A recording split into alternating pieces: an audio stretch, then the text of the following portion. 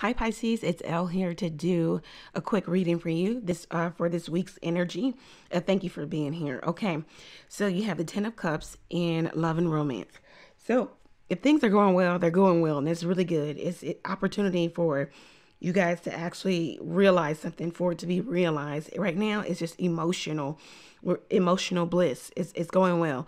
Um, maybe even with the uh, your person's family or if you're a family it just seems like it, it could really go the distance here. It says the opportunity uh, for greatness is here. It's just about how you you two perform well together or if, if you do perform well together okay? Because there's opportunity for you to not you know for this not to go the distance. Uh, the ten of cups.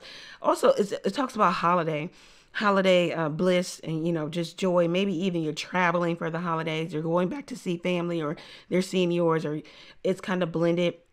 You'll spend your time with the other person's family and then um, you'll go to see your family also. Uh, in career and finance you have the king of cups. So there could be some business deals here. You're all about business matters and making something happen here. You're trying to use your creative flow, your creative juices here, King of Cups, to actually ma- manifest something here um, you could be in a creative sector. You could deal with a lot of different energies around you, and you just have to know how to uh, maneuver around all of them.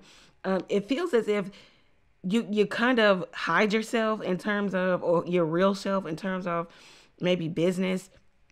I don't know if you're hiding your okay, hiding your sexuality or hiding you, your true self in terms of business here okay, I don't even know what this is about. Yeah, and then King of Cups here. Some of you could be going to a father figure and getting advice.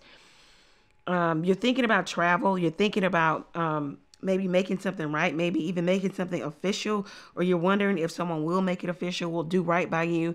You're thinking about um, what the future holds between you and someone else. You understand that this right now, this relationship is, is at a place of make it or break it, or your career and finance is at a place of you have to do the right thing or you, you have to put all of your energy, effort, time into this thing in order to make it work.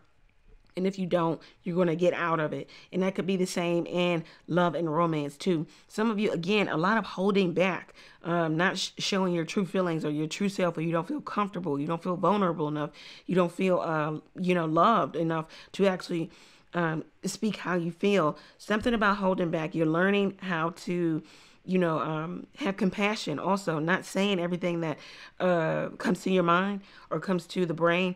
Again, holding back. There's something dark here. Okay, dark mail is coming out. So it's like something is um, a secret or something is just um, not out in the open. I don't know what it could be. It could be about sexuality it could be about someone maybe flaunting their sexuality or someone is holding that back. Someone doesn't want to actually um, put that out there, maybe in terms of business or getting business deals or closing deals or you know, they feel like that will cause some great effect to their business. This is what I have for you, uh, Pisces. If it resonates for you, uh, go over to the website, book your reading there. Catch me live every Tuesday, Thursday, and Sunday night, 9:30 p.m. Eastern Standard Time. Also, you could come and learn the tarot with me. I do have tarot classes. The link is below. And if you feel like you want to talk to me, I am now on Keen.com. Yep, you could talk to me a 10 minute chat for $1.99. So take advantage of that, Pisces. Thank you again. Take care.